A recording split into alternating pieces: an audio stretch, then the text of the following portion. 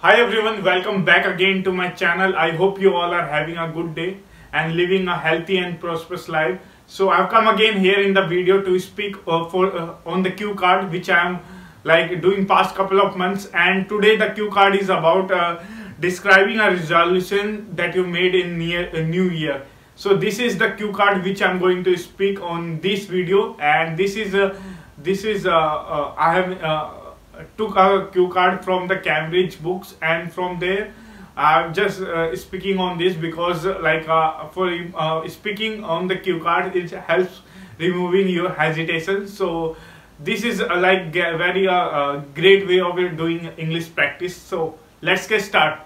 So I have wrote down all the words for speaking in this video. So so so let's start with this topic basically. So uh, so if if I talk about my resolution like uh, uh, in uh, like uh, in previous year I have do have a lot of resolution but uh, I'm not able to for able to like consistently work on that. So the resolution I have made every year but there is some sort of need of uh, focus and consistently consistency basically. So in this year i have just uh, wrote down some words uh, for, wrote down some resolution which is like not focusing on social media and like uh, not uh, scrolling every time because uh, I I think I probably know in the weekends I got to message like I have like uh, watch my cell phone at least five hour a day which is huge because uh, if i uh, read a book in five hours then i can probably complete this book in a one month basically. And uh, this gives me a no- lot of knowledge comparison to like uh, watching uh, like trending videos which uh, we all, all know like reels. And there is some sort of education which is not which is not completely a good basically half knowledge uh, if you see in the youtube uh, basically. So yeah i just want to cut that and this year onwards i just focus on like uh, reading uh, a book uh, in every month because if i re- read a book in every month like basically it can like uh, i can uh, utilize that time and i can like basically read a, a 12 book in a year that is huge. And like choosing out basically uh, and giving uh, my time to like uh, uh, uploading the video and practicing on myself. So this is what i want to do and this is what my resolution is. And apart from this i also want to like uh, mm, focus majorly on my health.